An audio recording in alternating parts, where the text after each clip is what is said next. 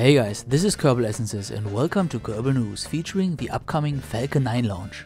Falcon will carry two communication satellites, the Mexican Eutelsat 115 West B and the Chinese ABS 3A. Falcon will launch on Sunday evening from Cape Canaveral in Florida, heading for a geostationary transfer orbit. This time the Falcon booster stage won't be equipped with landing legs and will therefore not attempt to land on a drone ship. The reason for this is to leave more weight capacity for the payload. Both Eutelsat and ABS are based on the Boeing 702 SP satellite, which has 4 electric ion drives and up to 4 parabolic antennas. Such antennas, however, differ from regular ones on roofs.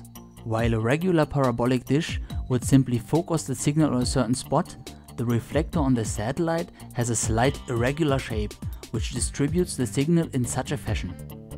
Like this, as much signal energy as possible is focused on the area where it is needed, instead of being wasted over the ocean. Reaching the highest point of their trajectory, the satellites will begin their program to circularize their orbit and reach the correct destination.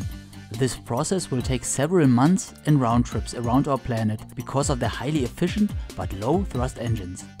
The final orbit is called geostationary because their orbital period matches the Earth's spin, which makes the satellite stay stationary over a certain area.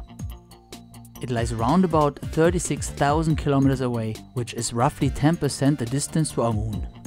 Eutelsat will place itself minus 115 degrees longitude over America, while ABS heads for minus 5 degrees over Africa. In case you confuse longitude and latitude, longitude degrees are along the equator, while latitude are lateral to it. Okay, that's it for this episode and I hope to see you in the next one if you like.